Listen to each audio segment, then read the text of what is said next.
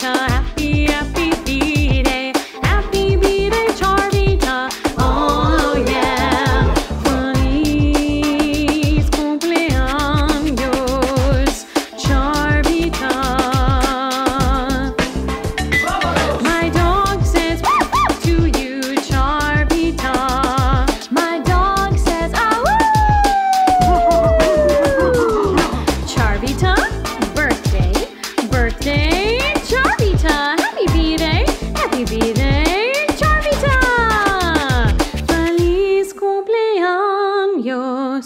Arvita, yeah.